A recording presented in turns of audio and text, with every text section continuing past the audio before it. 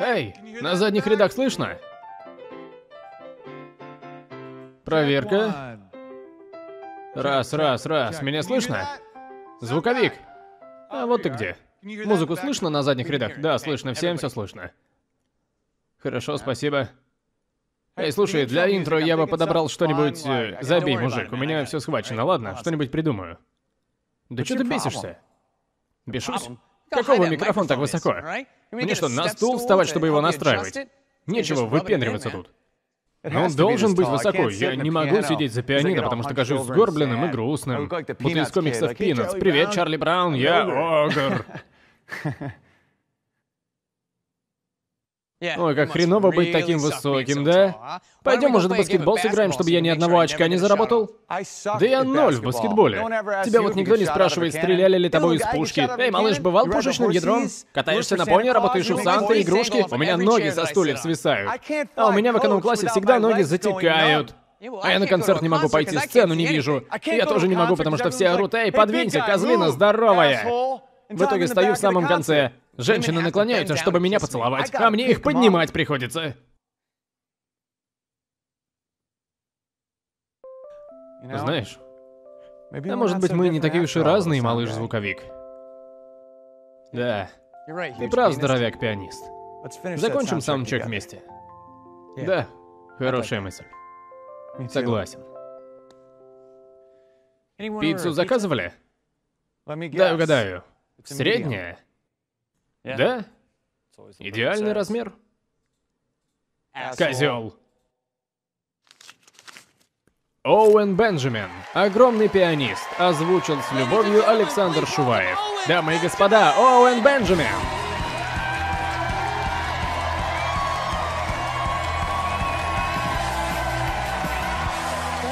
Спасибо вам, спасибо большое. Отлично. Спасибо. Супер. Ладно, спасибо, народ. Спасибо, что пришли. Погнали. Погнали. Я стараюсь стать зрелой личностью. Такова моя цель в этом году, пытаюсь повзрослеть. И это непросто. Я лажаю в деталях, в мелочах, например, с наполнением формы для льда. Пришлось усвоить, что если хочешь льда, нужно готовить заранее.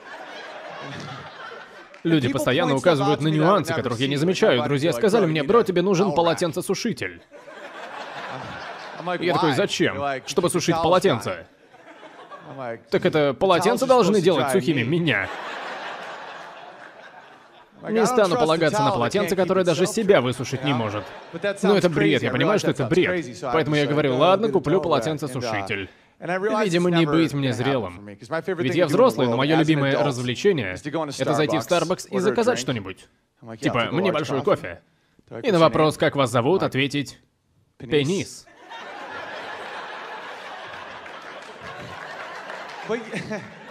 Улыбаться нельзя. Я улыбнулся, потому что вы смеетесь. Но если улыбнуться там, то приключение закончится. Когда вы скажете «пенис», и сотрудник такой, ну серьезно, как вас зовут? Нужно выглядеть серьезно. Посмотрите на него так, будто бахнули Адерола. Понимаете? Типа, меня зовут Пенис.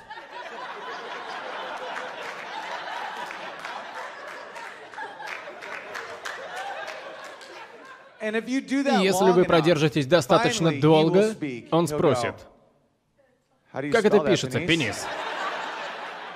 Тут можно чуть-чуть улыбнуться и сказать, вы знаете, как это пишется. Этой улыбкой вы говорите, ты же понимаешь, что происходит, но ты уже в ловушке. Пути назад нет. Пиши это на стакане.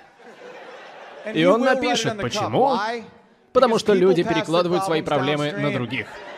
Это в нашей природе. Он просто напишет это, и кошмар окончен. А вот следующему придется произнести это вслух. Приходится подождать, им до моего еще много стаканов надо выдать. Нет ничего слаще предвкушения, стоишь такой. Ведь этот чувак доволен собой. Тот, что выкрикивает имена, да? Такой, так, у меня тут макиато для Тины! Где у нас Тина?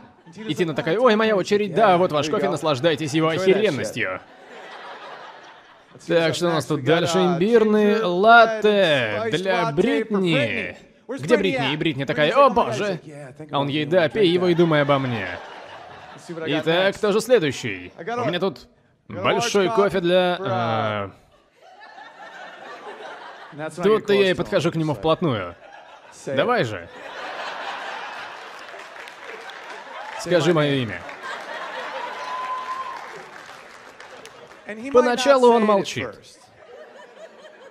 И я провожу ему по щеке тыльной стороной ладони. Вот так. Нежно. Почему тыльной стороной? Потому что это такая магическая часть тела. Если провести мужику по лицу тыльной стороной ладони, он всегда замирает. Я так тысячу раз делал. Если использовать тыльную часть, они всегда замирают. Это как погладить животик акуле. Если использовать ладонь, он наверняка возмутится, типа, «Мужик, ты что творишь?» Но тыльная сторона ладони сбивает их с толку. Пока они такие, почему тыльный? А вот все уже и случилось. Ой, слушай, а это даже приятно. Ну, скажи, а? Я говорю что-то типа, скажи, скажи мое имя, давай, сунь голову в львиную пасть, давай. И он сделает это, он скажет. Скажет мое имя. Почему я все это делаю? Я не козел и не хочу испортить кому-то настроение. Я делаю это, чтобы напомнить себе, что жизнь прекрасная штука. И у нас, как у вида, есть будущее, понимаете? Потому что от современных новостей мне грустно. Я считаю общество слишком разобщено, и это сводит меня с ума. А потом я иду в Starbucks и делаю все это, чтобы напомнить себе, что различий не существует. Когда он называет мое имя, нас ничто не разделяет. Раса, религия, количество денег, возраст, ничто. Все эти вещи рассыпаются, как карточный домик. Когда он кричит «Пенис!», все мужики вокруг счастливы, кем бы они ни были. С женщинами 50 на 50. Половина считает, что это смешно, половина, что мы идиоты. Мужики не хохочут, они просто такие, ха кто-то сказал это слово, что? И кем бы мы ни были, все смотрят друг на друга как братья. Он сказал пенис. Враги обнимаются, незнакомцы дают друг другу пять. Мужчина подходит ко мне и просит, научишь этому моего сына? Я отвечаю, конечно, научу, приятель. Просто запомни, не оплачивай картой, чтобы они не узнали, что имя не настоящее. Я так один раз лоханулся. Меня зовут Пенис, плачу картой. И кассир такой, нет, тут написано Оуэн. Ты меня поймала, кофейня? Спасибо.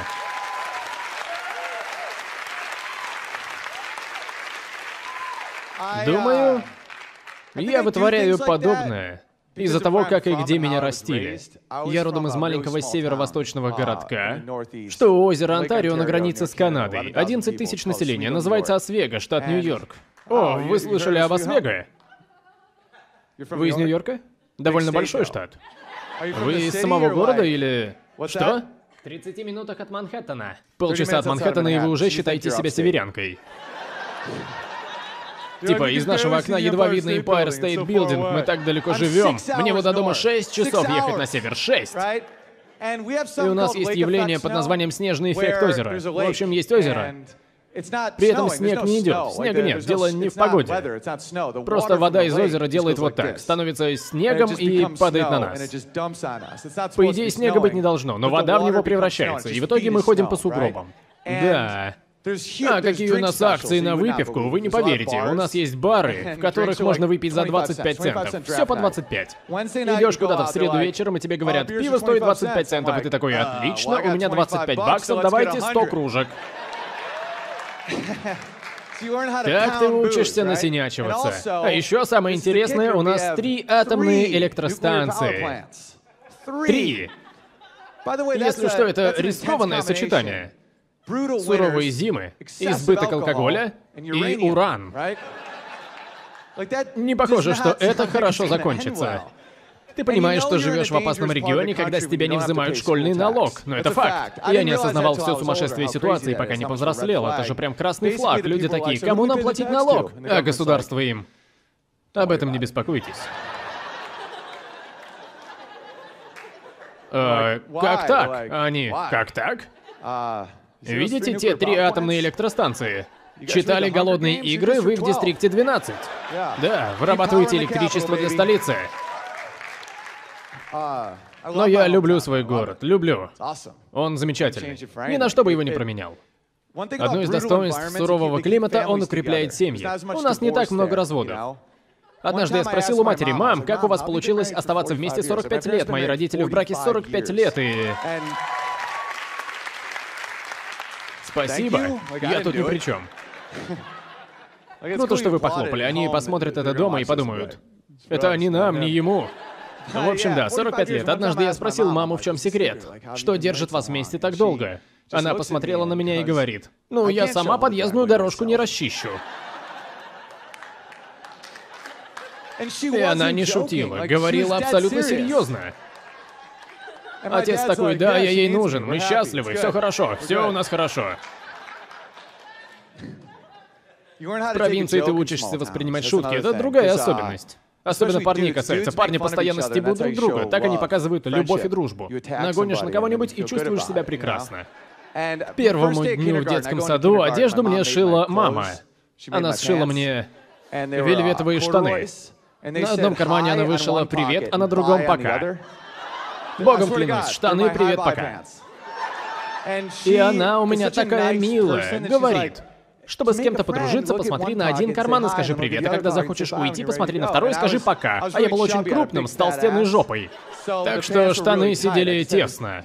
Я носил вельвет в обтяжку на толстенной заднице. В общем, мои штаны «Привет, пока» в тот день обоссали.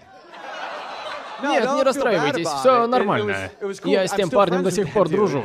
Мне придумывали прозвище типа «О, фанат Вельвета, фанат Вельвета». Я такой, ну да, я фанат Вельвета. А потом я понял, как обстоят дела. Люди смеются над всем, что отличает тебя от других. Типа «О, чувак с длинным мизинцем, эй, мизинчиковый, понимаете?» Даже если ничем не отличаться от большинства, смеяться будут над этим. Типа «О, среднестатистический Энди». Гляньте на Скученди, Скученди Пустышкин. Посмотрите, такой обычный. И Скученди такой, как вы меня заметили? Я думал, я смешался с толпой. И я с ними все еще дружу. Некоторые из них со мной приехали. Переехав в Лос-Анджелес, я кое-что обнаружил. Он отличается от других мест. Переехав сюда, я никак не мог завести друзей. Понимаете, я раньше не встречал хипстеров. Я не знал, как надо с ними разговаривать, не понимал, кто они вообще такие. Знакомство с хипстерами меня озадачило. Но потом я понял, кто они. Они как домашние коты. И я не пытаюсь быть грубым. Я не пытаюсь быть грубым, это просто факты. Когти у них подрезаны. Поэтому они просто смотрят на тебя. Домашние коты. И они такие нежные. А я-то их стебал, думая, что так и надо заводить друзей. Богом клянусь, я никого не хотел обидеть. Посмотрите на того парня, гляньте на его джинсы. Да у него же яйца выпирают, у нас тут фанат яйцерезки. Глядите, фанат яйцерезки. И тот парень такой... Как можно такое говорить? И я такой, Что? В смысле? И его приятели вступаются. Он не фанат яйцерезки, его зовут Эрик, ясно? Он фотограф. я объясняю, мне нравятся его штаны, я не хотел вас обидеть, просто... Классные штаны и яйца, что надо, их в этих штанах полностью видно. Не могу остановиться. Когда люди показывают, что уязвимы, что шутка их задела, ты заводишься еще сильнее. Он такой, эти штаны стоят 300 баксов, ясно? Я говорю, с такими бабками мог бы купить ткани побольше, чем на женскую эсочку. Он такой, прекрати, понял, а я ему... Стальные у тебя яйца так разговаривать. Не могу не отдать им должное, ведь эти джинсы их так облегают. И тут они просто уходят, а мне становится одиноко. Я думал, что же со мной не так? А потом понял, я в их мире, и они неплохие, просто другие. Они не толстокожие, потому что им это не нужно, тут не бывает зим. Я люблю Лос-Анджелес и не собираюсь уезжать. Поэтому и спешл здесь снимаю. Я люблю LA. Аплодисменты. В какой-то момент ты осознаешь, что попал в Нарнию. Людям здесь нет нужды быть суровыми. Тут Wall Foods через каждые три квартала. Повсюду авокадо и секс втроем. Просто в большинстве городов жизнь — это превозмогание. Там превозмогают жизнь, а здесь ей наслаждаются. Здесь все такие праздные, сидят в Инстаграме, носят узкие джинсы. И я подумал, круто, я с вами. Я понял, что мне это больше по душе, чем приезжать домой и слышать, эй, фанат Вельвета, и отвечать, бро, нам по 30 лет, хватит. Я понял, что мудаки существуют по одной простой причине. Им за это ничего не будет. Можно быть мудаком совершенно безнаказанно. Думаю, пора ввести пару законов, чтобы избавиться от мудаков. Если вы открыли человеку дверь, и он не сказал спасибо, вы должны иметь право дать ему по шее. У действий должны быть последствия, так? Иногда держишь дверь, а человек воспринимает это как должное. Я не имею в виду случаи, когда я придерживаю дверь за собой. Я о том, когда я остановился и открыл, а человек молча прошел. Я такой, сукин ты сын.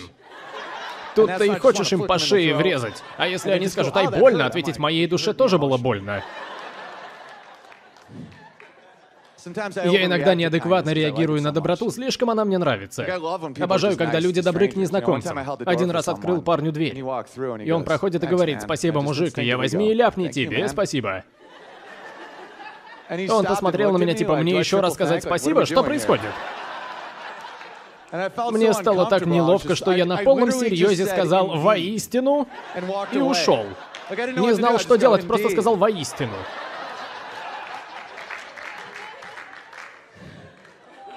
Родители у меня славные, оба преподают в колледже. Не знаю, встречали ли вы профессоров, но они очень образованные.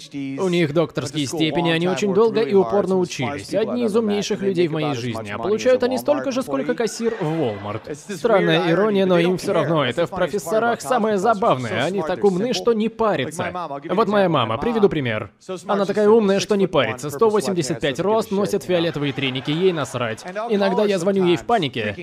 Типа, мам, ты смотрела новости? Там война, мир сошел с ума. И она такая, заведи свой сад, он всегда будет с тобой. И на вопрос «что?» выдает «посади растение и гордись им». И она права, все проблемы исчезают, когда ты пропалываешь ревень и копаешься в земле. Иногда я звоню в депрессии. «Мам, у меня депрессия, не понимаю, куда движется моя жизнь, а она, ты пьешь воду?» Я говорю, нет, она мне, у тебя просто обезвоживание. Ну, что ты говоришь? Ты не понимаешь, а она такая, нет, Оуэн, это ты не понимаешь. Надо выпивать минимум 4 литра воды в день. Попробуй и перезвони через несколько дней, и я начинаю глушить воду. А потом звоню ей такой, «Мам, мир прекрасен!» Я только что писал, было похоже на трехминутный мини-оргазм.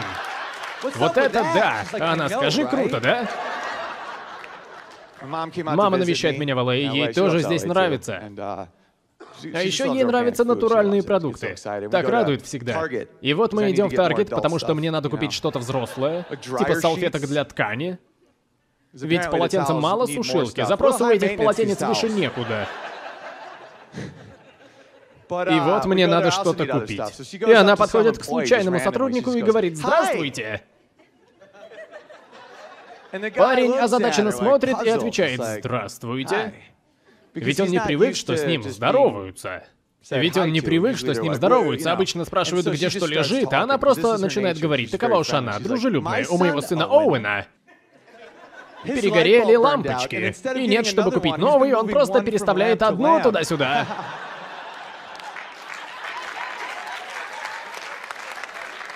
Она думает, что парень посмеется вместе с ней, а он молчит, просто смотрит на нее. Не злой, просто в замешательстве, типа, женщина, что вам нужно? Новая лампочка, новая лампа, новый сын, не понимаю, чего вы хотите.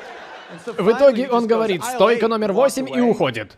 Но мама непробиваема, она всегда счастлива. Поэтому говорит «какой милый юноша». Я такой «нет, мам, я сейчас дам ему по шее». Стой здесь, сейчас вернусь, у него есть последствия. Он должен был посмеяться над твоей шуткой. Отец тоже забавный, преподает ораторское искусство, занимается риторикой, поет оперу, купил кучу разноцветных халатов. Ребенком он заикался, еле говорил и всегда очень нервничал. Это как в истории про Бэтмена. Бэтмен боялся летучих мышей и стал одной из них. Мой отец так боялся разговаривать, что стал самым ярым экстравертом на свете. До нелепости. Он эпатажный, очень яркий мужчина. В детстве я этого не осознавал.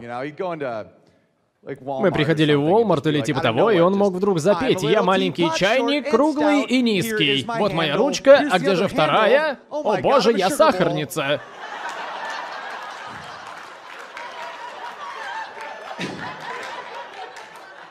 И люди смеялись. Говорили, Джон, ты невыносим. А он такой, а я думаю, почему в меня чай не наливают? А я еще ребенок. Я говорю, перестань, пап, мне стыдно.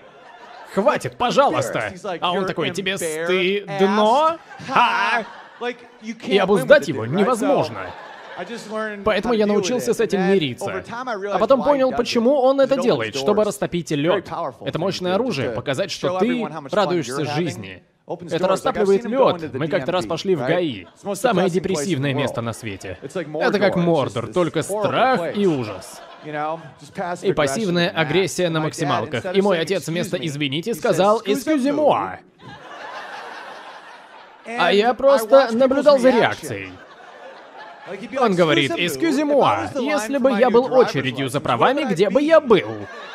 И на лице сотрудницы медленно проступает радость, губы растягиваются в улыбке, и она такая... «Джон, ты невыносим, можешь пройти без очереди». И он такой, «Оу, просто прошел без очереди». И тут до меня дошло, то есть ты прошел без очереди благодаря эскюзиму. А, гениально! И люди с него в восторге. Именно он впервые показал мне, что различий между людьми не существует. Как-то раз зимой мы пошли в магазин Burn Dairy. Была чудовищная пурга, и мы пошли купить молока. Старушки в магазине обсуждали погоду. Типа, вот это сегодня заметает. Одна из них говорит, Джон, слышал, сегодня 20 сантиметров обещали, а отец ей, нет, Дорис, тебе не светит. И их просто разорвало от смеха. А тем женщинам по 80 лет. Я тогда подумал, я ничего не понял, ведь мне всего пять. Но когда-нибудь я проверну подобное в Starbucks. Спасибо.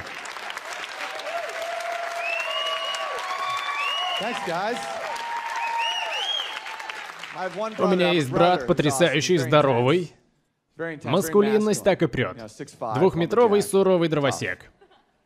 Сейчас он учитель, у него есть жена и дети. И он постоянно звонит мне с идеями. Он говорит смешные вещи, но не всегда это понимает. Он-то настроен серьезно.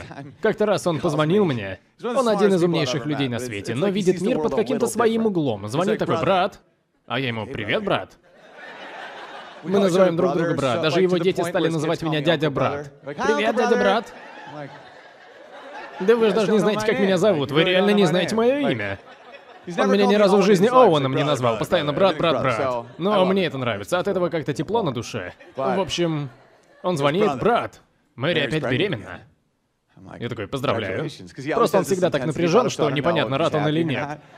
Он даже «я кончил» говорит таким тоном. Непонятно, когда он...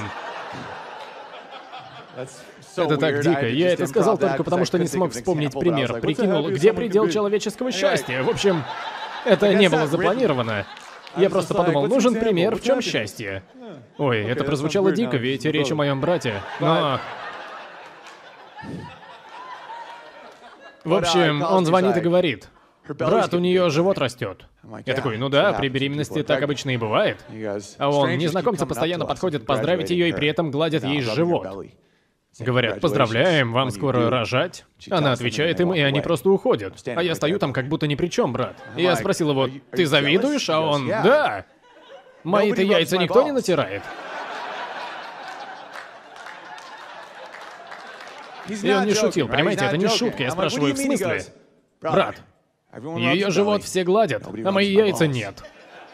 Я такой, ну она же из вас двоих беременна, брат, у тебя нет детей, тебе не понять. Беременна не она, а мы. Мы беременны. Мы команда.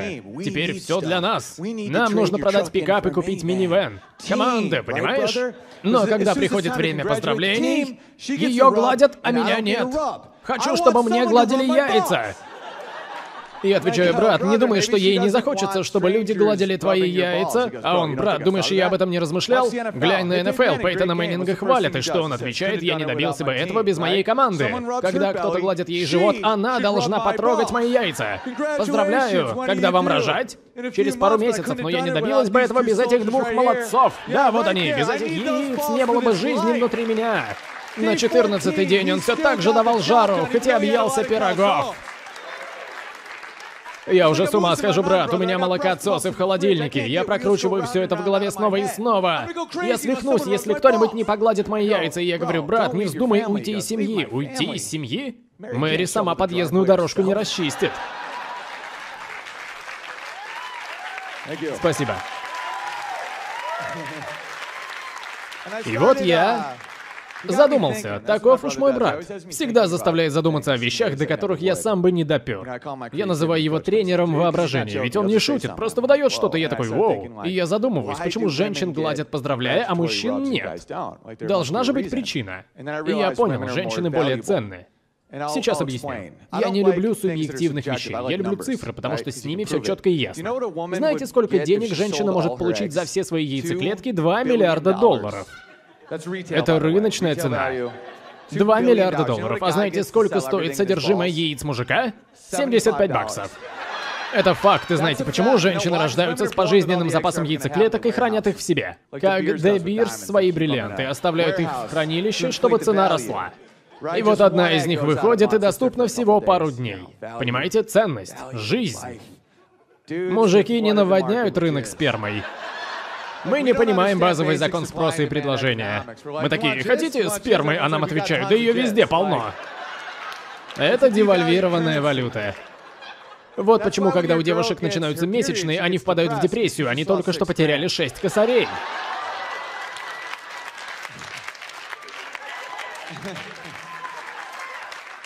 Каждый месяц у них из-под носа уходит средненькая Kia, и это не остановить. Будьте с ними учтивее. В мире полно сексизма, полно. Женщины подвергаются ему чаще, но сексизм по отношению к мужчинам тоже существует. Вы просто не слышите о нем, потому что нам плевать. Мы просто довольны жизнью. Приведу пример. Женщинам позволительно говорить глубже во время секса. Задумывались когда-нибудь об этом по-настоящему? Вот вы занимаетесь сексом, и девушка такая глубже. Вот так? Вот так? Глубже? Как? Вот под таким углом, может быть? Так глубже, кажется? Может мне такое лицо сделать? Да, вот так хорошо? Глубже, хорошо, да. Девушки, вы думаете, мы не додаем? Сам факт, что вы говорите глубже, подразумевает, что вы считаете, что парень думает. Не, последнего сантиметра тебе не видать. Нет, он только для меня. Типа, глубже? Не.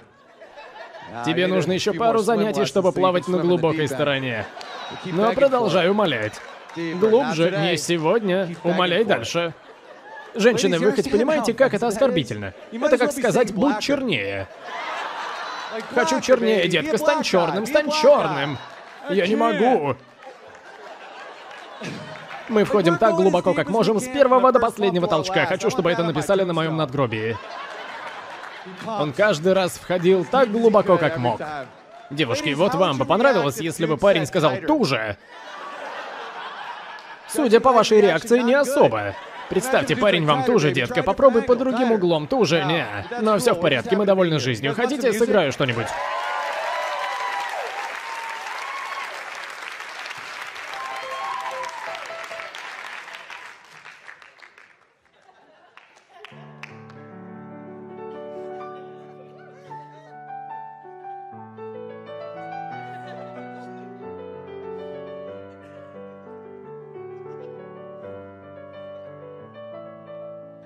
Когда мне становится грустно, я иду бродить по Икее и наблюдать, как парочки ссорятся по пустякам.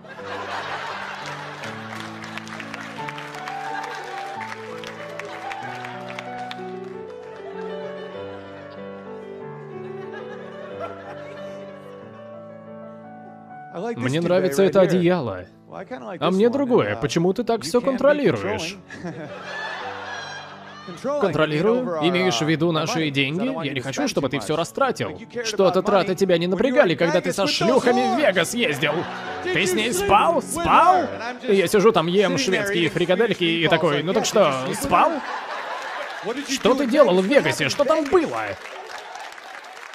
Это очень красивая мелодия, называется «Канон в ре-мажоре». Она является хитом вот уже 300 лет. Это долго, она была написана в 17 веке и теперь ассоциируется со свадьбами. Женщинам она нравится, потому что свадьбы ассоциируются со стабильностью ресурсов, любви, семьи, понимаете? Мне всегда казалось странным, что женщин критикуют за меркантильность. Никогда этого не понимал. Мои приятели говорили что-то типа, «Бро, она ушла от меня к доктору, меркантильная сучка». И я ему, «И правильно сделала». И он такой, «Что?» А я говорю, инстинкты подсказывают ей, что если у вас родится ребенок, он не выживет. Ты себя-то обеспечить не можешь, не то что ребенка. Тут и думать не надо. Не обязательно иметь кучу денег, не нужно быть богачом, просто купи полотенцесушитель, не забивай на это. Надень штаны, на улице среда. Но вот в чем неоднозначность. Женщины покупают много ненужных вещей. И вот почему. Ими манипулируют через их же потаенные желания. Через семью, поддержку, любовь, вот это все. Эта мелодия играет на фоне в куче реклам. Вы сами заметите, когда женщинам хотят продать что-то ненужное, включается на это Рождество подарите ей то, о чем она мечтала целый год. И женщины такие, о чем же я мечтала? Начинается все красиво, типа, покажите, что важнее нее ничего нет. Что ваша любовь к ней не угасла с первого дня. Покажите это нашим кулончикам с двумя сердцами. Два сердца асимметрично сплавленных друг с другом. Похоже на открытую змеиную пасть. Цена 5000 долларов. Но она того стоит. Не так ли? На это Рождество подарите ей Lexus с большим красным бантом, чтобы соседи вас ненавидели. Знаете, Lexus то же самое, что Toyota. Одна и та же машина. Она производится на одном заводе, но в Lexus есть камера заднего вида, которая вам не нужна, потому что вы умеете пользоваться зеркалом. Стоит на 20 тысяч долларов больше. Купите ей Lexus, ведь она того стоит. Разве нет? Разве нет?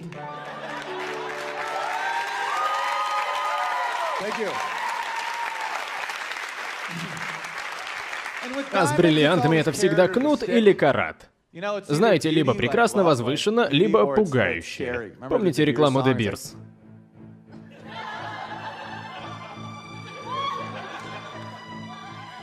Типа, ты умрешь, ты умрешь.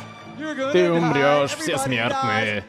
Потому что рекламщики хотят внушить вам кое-что. Там же одни тени. Всю десятилетнюю рекламную кампанию. Сплошные тени. Они танцуют, у них появляются дети, они стареют, но они все еще тени. Единственное, что вы видите четко, это бриллиант, так? И вот люди в ужасе. Я умру, а им нет. Бриллиант бессмертен. Запугивают вас до усрачки. К Рождеству тоже жуткую музыку придумали, типа... Санта знает обо всем, что ты натворил. Санта следит за тобой, следит за тобой, пока ты спишь. Ты умрешь, ты умрешь. Жесть.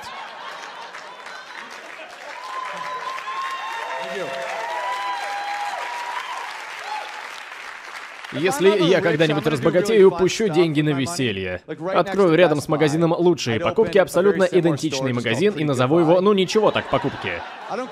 Пофиг, если бизнес разорится, мне насрать, я же буду богат, просто буду стоять и наблюдать, ценит ли кто-нибудь искренность. И рекламу начну снимать только чтобы узнать, может ли эта песня продать что угодно. Я бы оплатил рекламу на телевидении.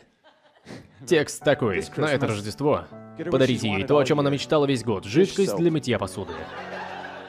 Отправьте сучку обратно на кухню, где ей место. Она знает, что ее место именно там. А в ноябре, когда она пойдет на выборы, спросите себя, почему у нее есть право голоса? Не так давно женщины не могли голосовать, а потом был референдум о предоставлении права голоса, в котором они не имели права голоса. И как мы проиграли этот референдум?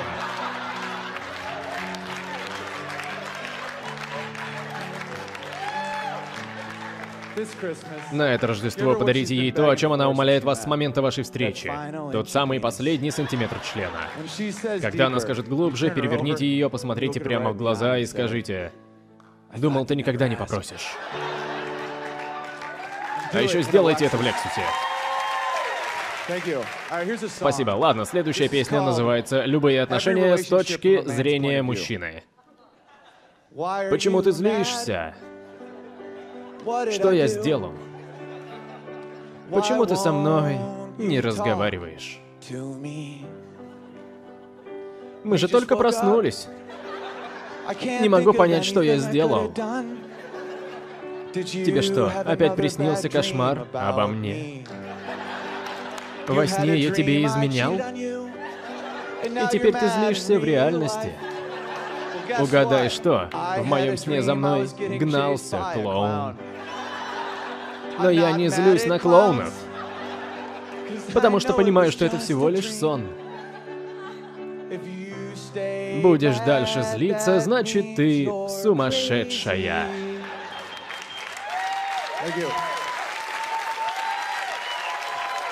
Сейчас только попью.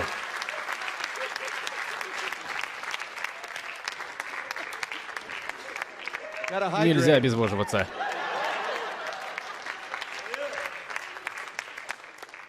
Вот вам еще песня. Если меня приговорят к казни на последний ужин, я съем полкило кукурузных зерен, чтобы умирать на электрическом стуле было уморительно. Помирать так с шуткой, согласны? Хочу вытатуировать у себя на жопе «Я никогда не умру», чтобы патологоанатом сделал «Ха-ха». И все, достаточно одного смешка. Ладно, вот еще одна. Я расист только за рулем.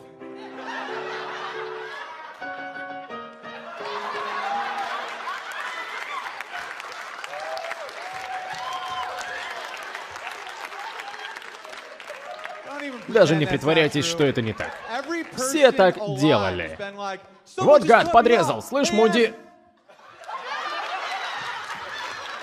Все ясно, езжай, мужик, езжай. А вот еще. Какие же садисты поставили букву «Ш» в слове «шепелявить»? Задумывались об этом? Какой же мудак! Поставил букву «Ш». Шепелявить. Приходится говорить, у меня сепелявость. Что? У меня сепелявость. Сепелявость? Что это? Да сепелявость у меня. Люди даже не могут сказать, что у них такое. Когда я учился в школе, я всегда смеялся, когда в класс закатывали старый телек и показывали повышающие нравственность ролики. Для всей школы или отдельно в классе. В них тоже всегда была одна музыка, что-то типа... Привет, детишки. Я бельчонок Брэндон. Не устраивайте пожары в лесу. И все. Посыл такой, не устраивайте пожары в лесу. Всегда было интересно, для кого они это снимали. Ребенок что, должен был подумать, а,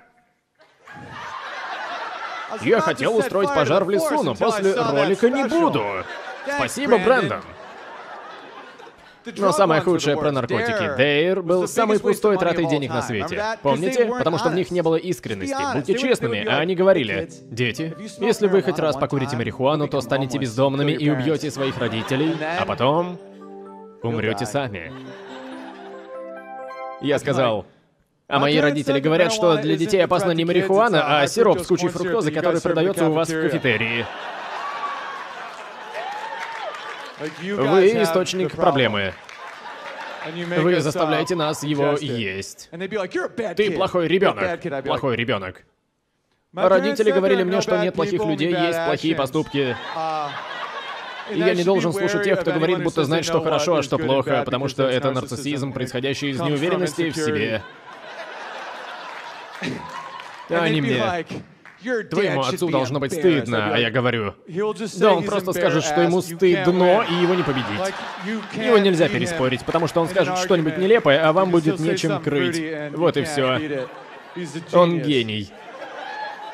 Вон из школы. Мои родители говорят, что сюда вообще ходить не обязательно. Мне просто нравятся друзья, смеющиеся над моей толстой жопой. Потому что так я чувствую себя чуть лучше. Хочу, хочу сделать uh, ролики для детей, чтобы рассказать, почему на самом деле они не должны употреблять, показать реальность. Я бы сказал, Привет, дети. Не употребляйте кокаин и МДМА, потому что под ними вы станете болтливыми и надоедливыми. Будете на вечеринке трогать чужие лица и всех раздражать. Если для раскрепощения вам нужен кокаин, так Бог говорит вам, не болтай лишнего.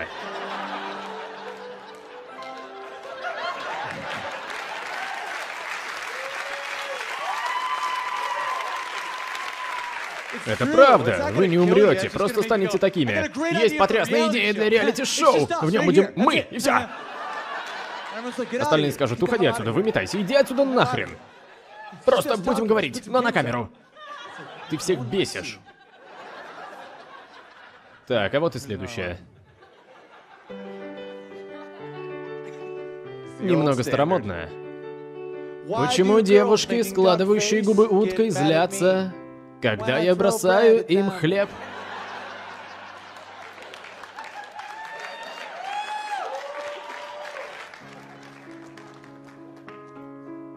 Когда я умру, кто-нибудь, пожалуйста, кто угодно, удалите мою историю браузера.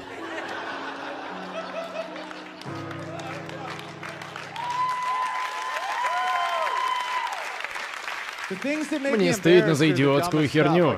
Как-то раз я целый час гуглил ухмыляющихся рыб. Хотел посмотреть на рыбу, которая будто знает что-то, чего не знаю я. Не хочу, чтобы кто-то об этом узнал. Ой. Теперь все знают. Ну ладно, неважно. Не знаю, заметили ли вы, но иногда, играя на пианино, я двигаю бедрами. Почему я это делаю? Хочу показать другим пианистам, что этого не надо стыдиться. Пианистам нельзя двигать бедрами. Всем остальным музыкантам можно. Вот гитара, все гитаристы играют так. Помните Guns N' Roses? Ну, это считается нормальным. Они это делают. Арфисты тоже двигают бедрами. Даже группы солисты которых не отождествляют сексом. Инди-группы типа Radiohead. Я видел их концерты, даже этот чувак двигает бедрами. Он такой...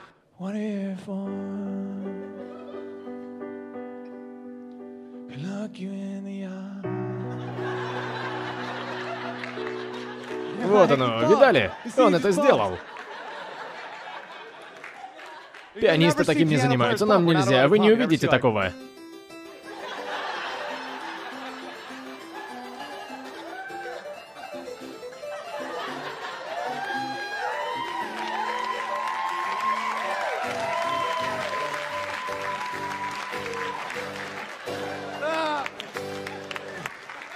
Как же это весело.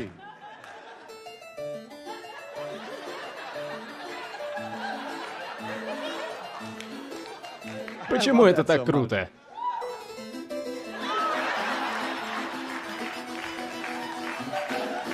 Да, да! Достиг кульминации.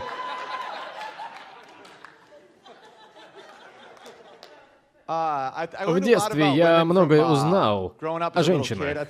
Думаю, между нулем и шестью я изучил о них больше, чем за всю остальную жизнь. Я до сих пор не... Все, потому что моя мать состояла в Ла Лечи Лиге. Она была их лидером, одной из глав Лаличи Лиги. По сути, эта организация занимается кормящими матерями, у которых возникают проблемы. Раньше не было интернета. К кормлению грудью относились странно. Зато была продукция Гербер. Вот вашим деткам приторный сироп. Когда мама начала кормить брата, а потом и меня, ей понадобилось обсудить с кем-то соски и все такое. Она не понимала, что к чему. К ней стали приходить другие матери. Каждое воскресенье 20, 30, 40 матерей оголяли соски и обсуждали проблемы. Сидели такие. И я слушал их. Но они об этом не подозревали, я подслушивал со второго этажа. Я часами выслушивал их размышления. Демография была широкая. 16-летние, 40-летние, все, владельцы бизнеса, разведенные женщины в отношениях, неважно, они все собрались вместе. Поддержка — это пенис для женщин. Мужчинам порой нужно, чтобы кто-то сказал слово «пенис», а женщинам нужны группы, в которых можно пообсуждать всякое дерьмо. Я ни разу не слышал, чтобы они были такими искренними, как тогда, когда не знали, что маленький гаденыш их подслушивает. Я долго слушал об их чувствах, об их страхах и желаниях. И вот написал песню, чтобы доложить, что я обнаружил. Называется «Как любить женщину». Одевайся хорошо, но так будто и не старался. Слушай как женщина, но веди себя как мужчина. Зарабатывай много, но не имей свободное время. Хвали ее прическу и туфли, но не как гей. Чтобы любить женщину, стать ее опорой и надеждой,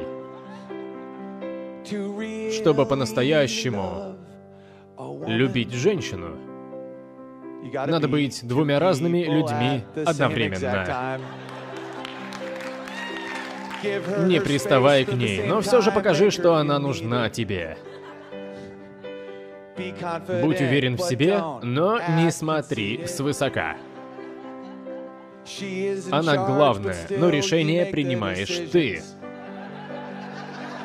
Целуй ее как принц, но трахай как откинувшийся зэк. Вот так надо любить женщину. Спасибо.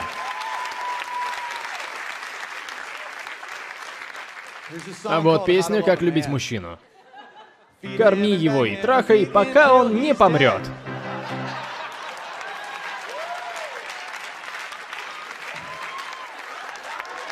Как же много в мире противоречий, да? Но женщинам тоже не просто мужики. Они сталкиваются с социальными противоречиями. В чем я сочувствую женщинам, так это в сексе. Мужики всегда пытаются заняться с ними сексом. Всегда. Будь то муж после 50 лет брака или 16-летний жеребец, пытающийся закадрить девчонку. Мы всегда кого-то уламываем, так ведь? Говорим, давай прогуляемся, поужинаем. Теперь ты меня провожай. Хочешь подняться? Давай, тебе же понравился поцелуй, да? Зайди, понимаете? И девушка скажет, я хочу, но не хочу, чтобы ты плохо обо мне думал. Да я о тебе лучше буду думать. Зайди. И вот она поднялась. Вы переспали. А на утро, когда она идет к своей машине, как это называется? Путь позора. Думали когда-нибудь, насколько это бредово? Общество такое, сделай, давай, сделай, сделай это. Плохая. Она это сделала, посмотрите на нее, ужасно, глядите на нее, позорище. Это же жесть, мужики. Если вы любите секс, а таких 99% человечества, 1% асексуалы, чего мне не понять, за них говорить не буду, но если вы любите секс, вы не можете стыдить того, кто им занимается. Когда видите женщину, идущую к машине в 7 утра на огромных каблуках, отдавайте честь патриотке. Потому что она сделала то, что от нее просила страна. Никаких путей позора. Будем называть это парадом чемпионов. Стыдить женщин вообще не вариант. Замечали? Не стыдите женщин, они всегда среагируют наоборот. Скажите, ты шлюха. А она вам шлюха? Я покажу тебе шлюху. Не делайте так. Поддержите ее. Возможно, она только что потеряла шесть косарей. Еще одна, коротенькая. Дорогое порно. Никому не нравится смотреть на яйца сзади.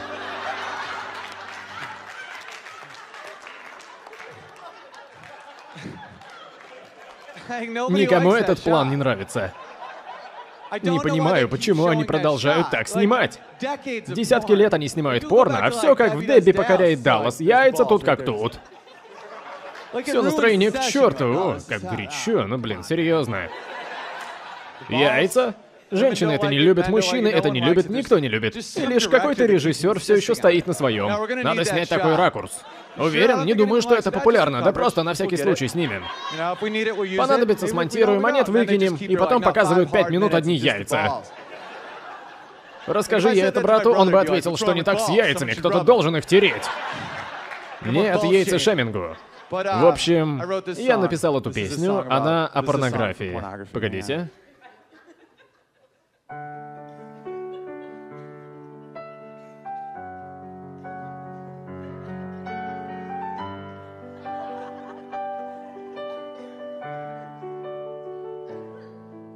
Каждый раз, когда я смотрю порно, в конце говорят три слова.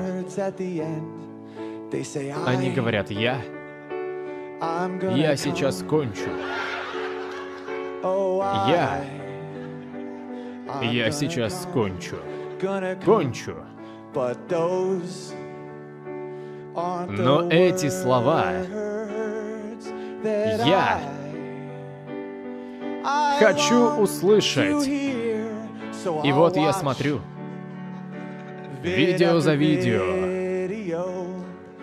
Пока не услышу, я сейчас влюблюсь.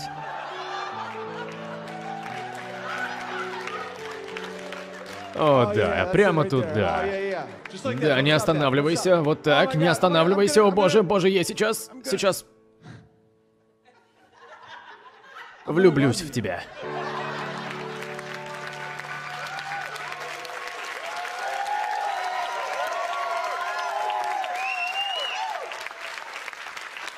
Разве это не сделает порно более глубоким?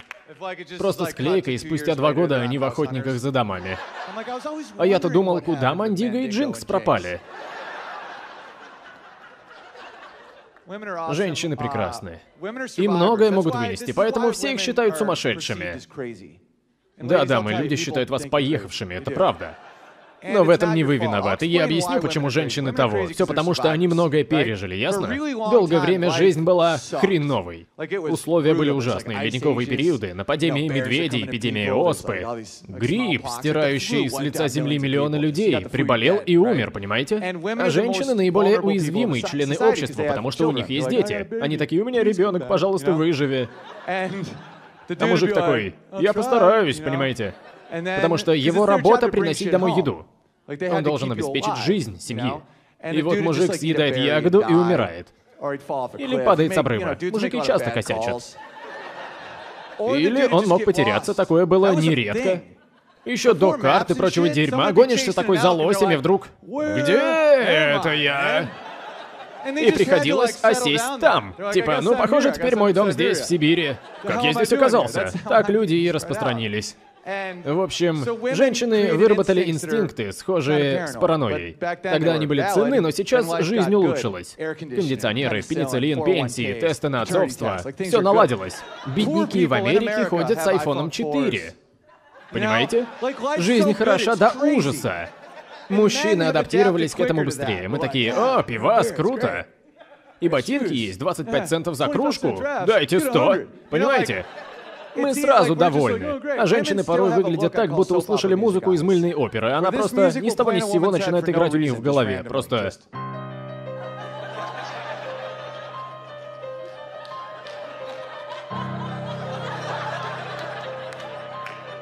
Это им жизнь спасала, народ. Не будь у них этого, мы бы не выжили. Какая-то женщина отпугивала медведей, и вот мы здесь. Но это наступает случайно. Вот что сбивает мужчин с толку. Этому нет причин. Мужчины злятся постоянно, но не просто так, типа...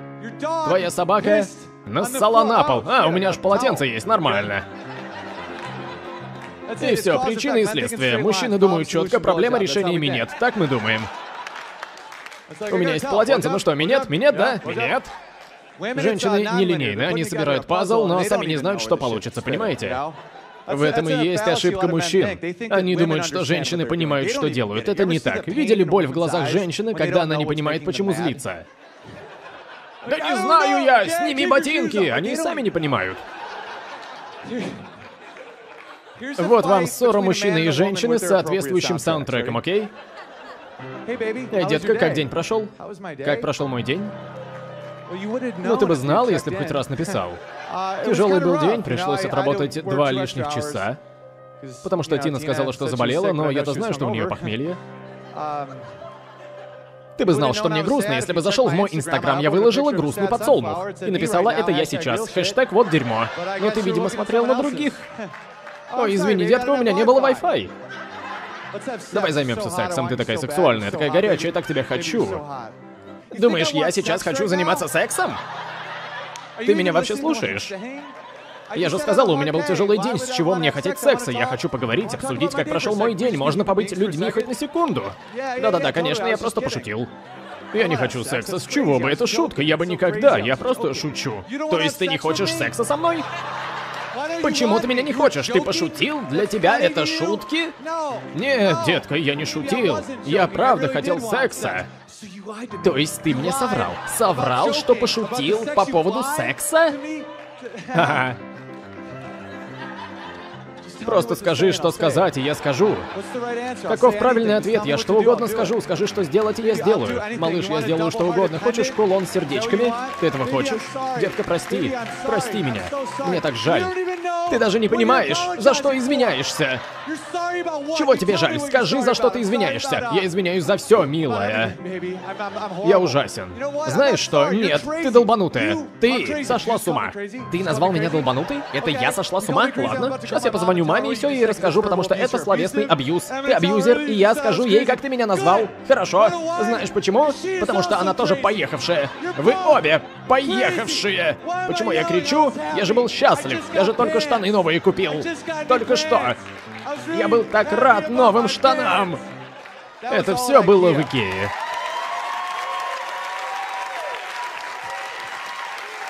Спасибо. Мораль этой истории такова.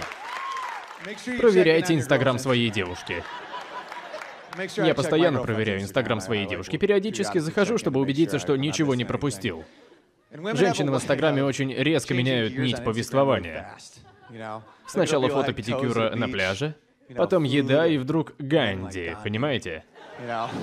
Вдохновляющая цитата ни с того ни с сего. Бац! И ты такой, о, классный пирог, ой, стань изменениями, которые хочешь видеть вокруг.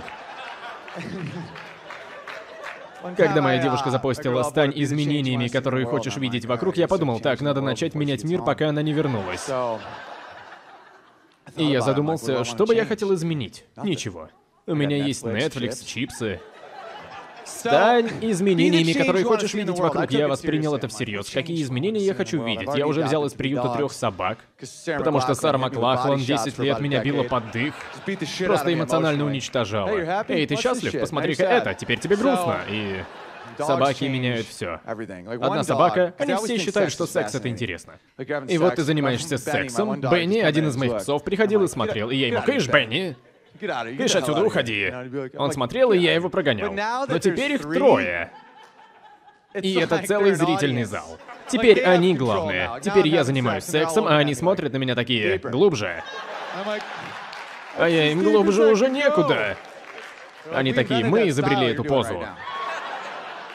У нас она называется просто поза.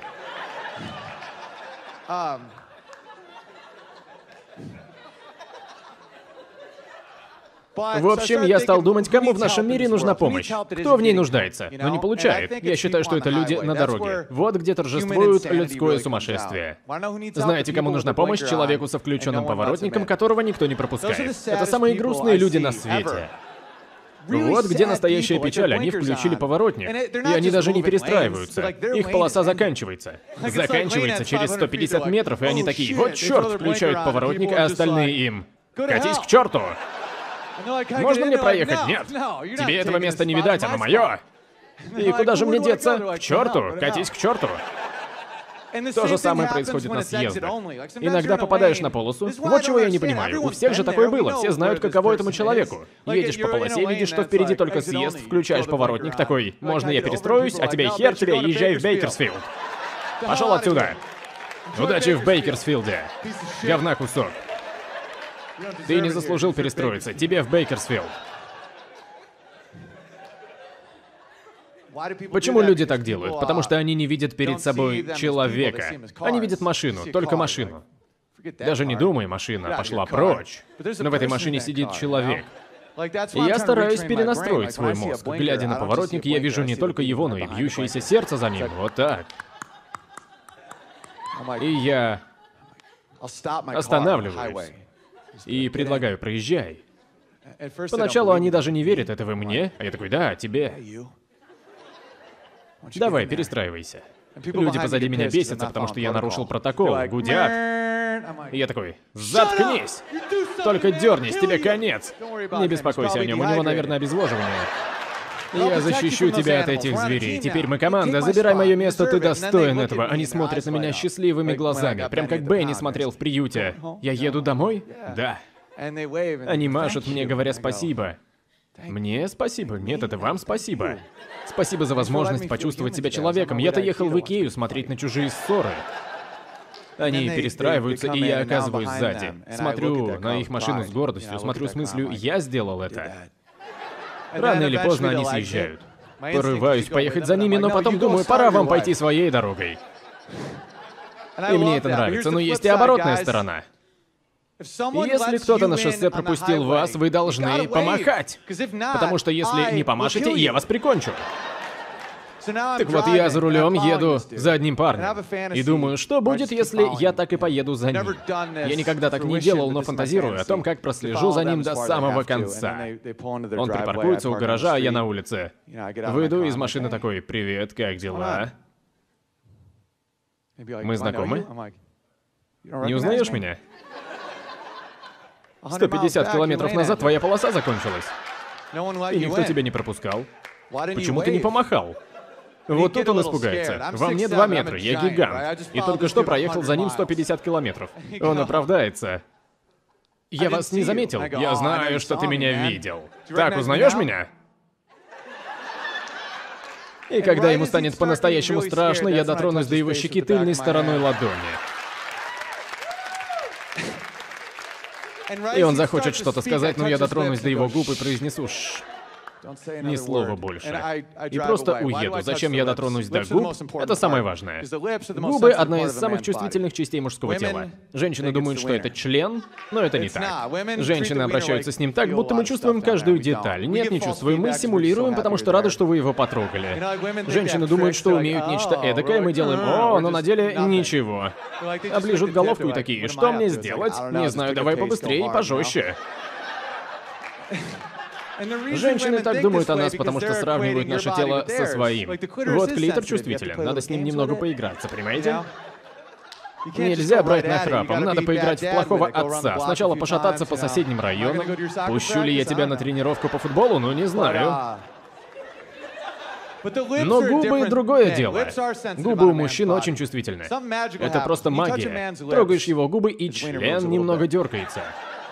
Так и есть, просто трогайте, потому что от губ к члену проходит нерв, так?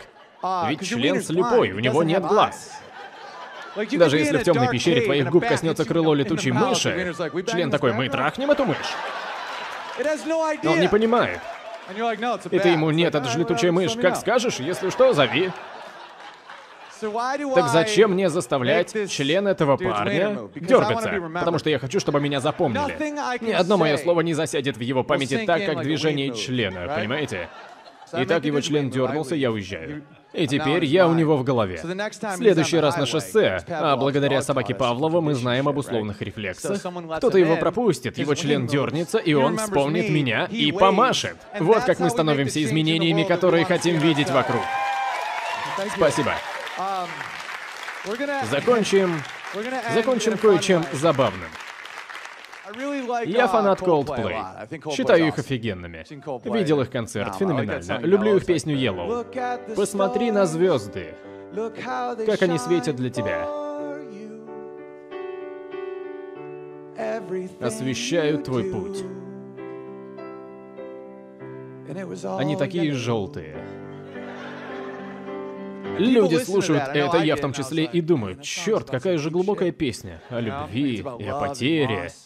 Но по-настоящему я полюбил Криса Мартина когда увидел его на шоу Говарда Стерна. У него брали часовое интервью, и он сказал то, чего я не слышал ни от одной рок-звезды. Он признал, что в песне Yellow нет смысла. Просто тарабарщина. Стальные яйца, да? Он у Говарда Стерна, и тот спрашивает, итак, ваш первый хит Yellow, о чем эта песня? Да вообще ни о чем. Это просто цвет, желтый. Расскажите мне процесс, как ты ее написал? Да просто пытался ребят насмешить. Сказал желтый. Я был в ванной и вдруг сказал желтый. Всем понравилось. Мне понравилось. Вот и все. Я серьезно, народ, абсолютно серьезно. Это не слово в слово, но смысл верный. Стерн продолжает настаивать. Должно быть, вы писали о той, кого любите. Я тогда вообще не был влюблен. Но ведь звезды желтые. Вы поете, посмотри на звезды, они такие желтые. На самом деле звезды не желтые. На рождественской открытке, может быть, но не в жизни. Так я и понял, что этот чувак крут, и стал слушать больше его музыки. Он выпустил песню «Небо полное звезд».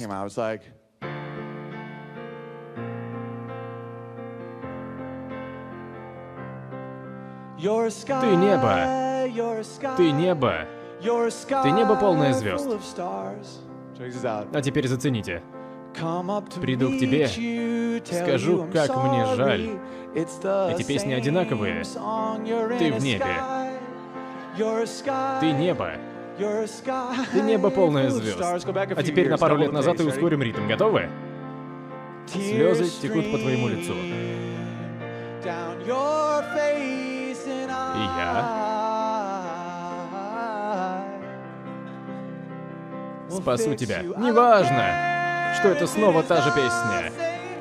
Это одна и та же песня, поняли? И спасибо. Но я не смеюсь над ним. Это же потрясающе. Этот чувак чумовой пианист. И он принял сознательное решение. Ему сказали, давай напишем новую песню. А он такой, нет, людям нравится это. Вот это уровень. На свете куча песен со словом «желтый». Мы все живем в желтой субмарине. И все такие, о чем это? Наверное, о наркотиках. Субмарина же. Битлз, кстати, никогда этого не отрицали. Просто сказали, ага, как скажете. Перл Джем. Помните песню «Желтый Ледбеттер»?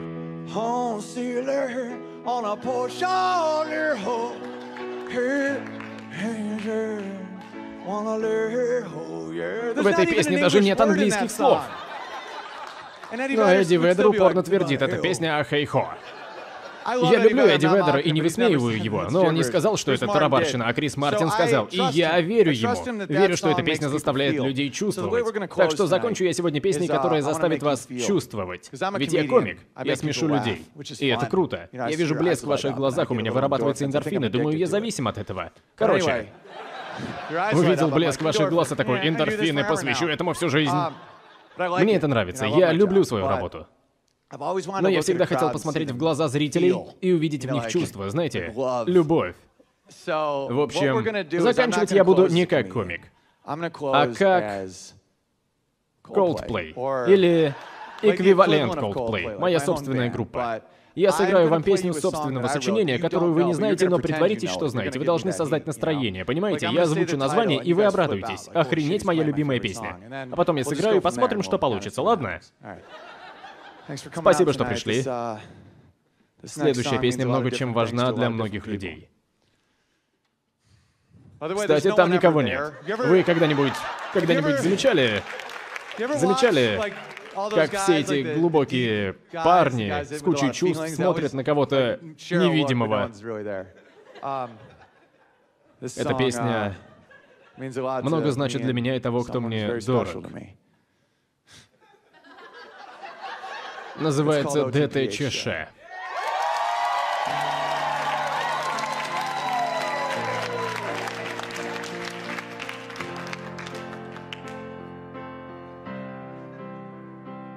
Ты Уолгринс. И твоя девушка такая милая что ты ведешь ее вглубь магазина, прямо к креслу для измерения давления. Ты берешь ее руку, гладишь и смотришь в глаза.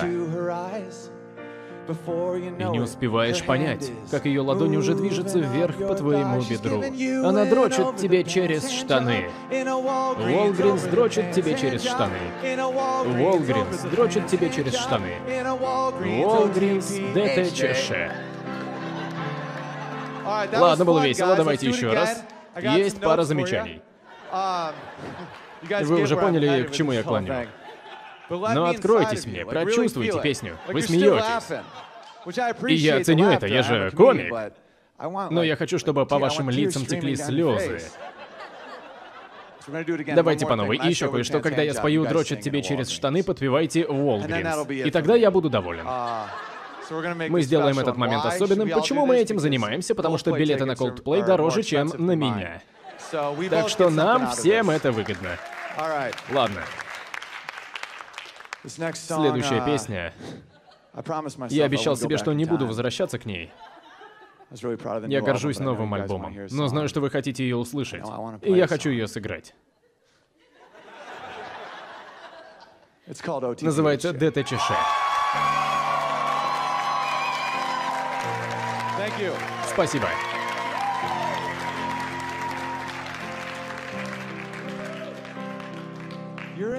Ты Уолгринс. И твоя девушка такая милая, что ты ведешь ее вглубь магазина прямо к креслу для измерения давления. Ты берешь ее руку, гладишь и смотришь в глаза. И не успеваешь понять, как ее ладонь уже движется вверх по твоему бедру. Она дрочит тебе через штаны. Волгринс дрочит тебе через штаны. Волгринс дрочит тебе через штаны. Волгринс, ДТЧШ. Вы осторожны. Сотрудники не заметили, чем вы занимались. Но пора уходить, ведь им нужно будет помыть полы, потому что она тебе дрочила через штаны. Волгринс дрочила тебе через штаны. Волгринс дрочила через штаны. Волгринс ДТЧШ. Еще раз. Дрочила тебе через штаны. Волгринс дрочила тебе через штаны. Волгринс дрочила через штаны. Волгринс. И все вокруг такое желтое. Спасибо, народ. Я Оуэн Бенджамин. Ладно, спасибо вам большое. Спасибо. Спасибо, ребята. Люблю тебя. Спокойной ночи, люблю вас. Мир вам! ДТЧШ!